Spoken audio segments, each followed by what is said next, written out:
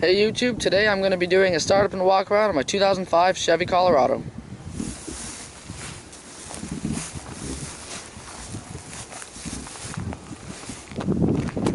Three point five, five cylinder engine, Z71 off-road edition.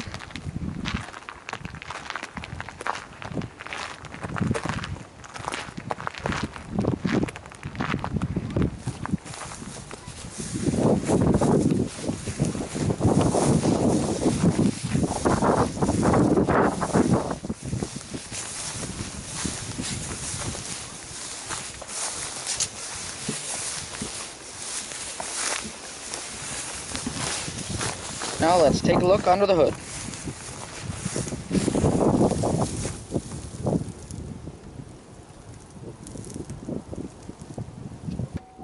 And now we'll start it up.